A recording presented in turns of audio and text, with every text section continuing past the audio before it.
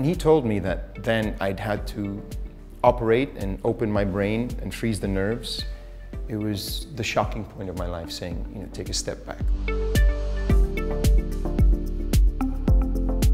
My purpose in life is to share my own personal experiences of healing, of transformation, of everything I've learned over the years, entrepreneurial journey to the spiritual journey and share it with all. And that's kind of what I'm embodying and doing right now. I'm very happy to be doing. I set up with my partner um, a field marketing agency and it was very successful.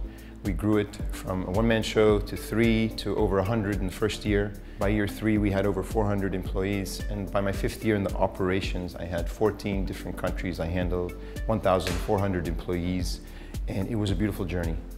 But that journey led me to constantly being on the plane. Every two days I'm on the plane, another country. And it took its toll on me. My wake-up call came when I had a lot of pain in my head. Eventually, I ended up going to the top neurosurgeon at the American Hospital in Dubai, where I lived then. And he told me I had something called the trigeminal neuralgia. It's this chronic pain affecting the trigeminal nerve, so it affects everything. To him, he's like, it's not that difficult of an operation. I'm like, you're gonna open my brain. It's not, freeze my nerves. What if you get the wrong nerve? You know, I'm destroyed. I took a step back and said, I'm gonna travel. And I found myself, you know, going to all the healers in Dubai that would come running to different ones, just trying to, to find healing. And in my journey now, I knew that we are the healers. We have the answers. Just two months after that trip, I went and did a breath work. And that breath work took me to somewhere very special, somewhere amazing that I could not believe I could get to just with the breath. Then I knew what I wanted to do, but more than that, I knew what I want, didn't want to do. And that was the transformation of moving from field marketing and digital media to setting up and founding Nafas Journeys. Everything I've learned in the 20-year experience from leadership, marketing, organization, and social media, I implanted in Nafas Journeys, making it immaculate and everything perfectly aligned. For Nafas Journeys, I initially thought it'd be for the entrepreneurs that are suffering like me, the C-level executives that had major issues, but it's not just them. It's even a mother, a housewife, um, the younger yogis, or a, a, someone, a young man or woman in college uh, not understanding. And my mindset said, People need healing, and when the time is ready, they will come.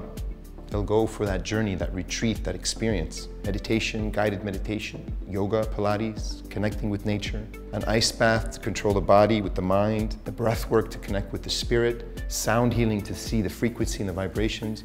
And once the heart opens up and the mind opens up, suddenly healing takes place because there's so much going on. Today I go into corporates and explain the power and the benefits of the breath. We hosted an EO Cairo chapter retreat over three days and through it we've given them a taste of the retreats we host in Bali, in Peru and elsewhere. The Cairo chapter were amazing, they were open, they were willing.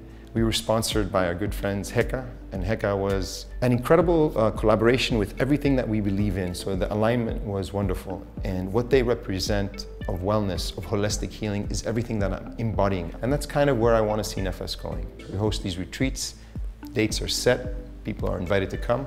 We're open to private retreats or other retreats that we're invited to. We have a small team, it's beautiful, it's wonderful.